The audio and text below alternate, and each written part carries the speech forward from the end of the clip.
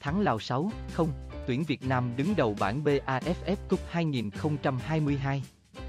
Đội tuyển Việt Nam thắng đậm Lào với tỷ số 6, 0 trong trận ra quân tại bảng B AFF Cup 2022. Gặp đối thủ bị đánh giá thấp nhất bảng như Lào, nhưng huấn luyện viên Park Hang-seo thể hiện sự tôn trọng đối thủ với đội hình mạnh nhất. Đỗ Hùng Dũng và Nguyễn Hoàng Đức sát cánh ở tuyến giữa, trong khi bộ ba Nguyễn Tiến Linh, Nguyễn Quang Hải và Phan Văn Đức sát cánh trên hàng tiền đạo ba người.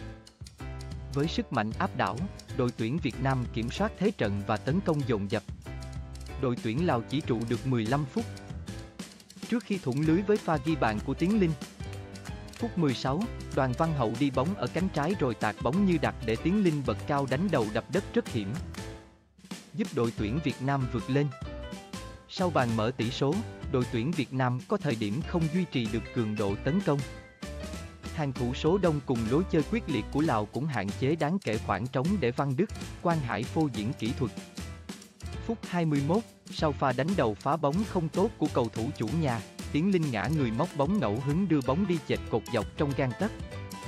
Phút 35, Văn Quyết đánh đầu lái bóng nhưng thủ môn Lào đã cảnh giác, lùi về và bắt gọn bóng. Vào sân thế chỗ quan Hải. Văn Quyết đã chơi rất song sáo. Cuối hiệp 1, đội tuyển Việt Nam ghi bàn nhân đôi cách biệt. Sau pha pressing đoạt bóng thành công của hàng tiền vệ Việt Nam. Bóng nhanh chóng được luân chuyển tới vị trí của Văn Quyết. Hậu vệ Lào đã phá bóng đúng vào tầm dứt điểm của Hùng Dũng. Tạo cơ hội cho thủ quân tuyển Việt Nam đặt lòng gọn gàng, nâng tỷ số lên 2, không ở phút 43. Sang hiệp 2, đội tuyển Việt Nam duy trì thế trận tấn công ở cường độ cao.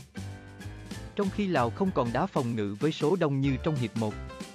Đội bóng của huấn luyện viên Michael Weiss phải đẩy cao đội hình và cơ hội ghi bàn rộng mở với đội khách. Phút 56, Nguyễn Thành Trung đánh đầu lái bóng vừa tầm để Hồ Tấn Tài băng lên đệm bóng nâng tỷ số lên 3-0. Một phút sau, tận dụng pha đánh đầu phá bóng hụt của hậu vệ Lào, Văn Hậu khống chế rồi vẫy má ngoài đẹp mắt bằng chân trái để nâng tỷ số lên 4-0. Huấn luyện viên Park Hang-seo tung nhiều cầu thủ dự bị vào sân trong 30 phút cuối trận, nhưng bàn thắng vẫn đến với đội tuyển Việt Nam. Sau nhiều cơ hội bị bỏ lỡ, Nguyễn Văn Toàn điền tên lên bảng tỷ số với cú sút chéo góc ở phút 82. Phút 91, Vũ Văn Thanh ấn định chiến thắng 6 sao cho Việt Nam với pha đặt lòng chuẩn xác. Thắng Lào 6 bàn không gỡ, đội tuyển Việt Nam tạm chiếm ngôi đầu bảng B AFF Cup sau lượt đầu tiên. Thầy trò huấn luyện viên Park Hang-seo bằng điểm Malaysia. Nhưng xếp trên nhờ hiệu số bàn thắng bại tốt hơn.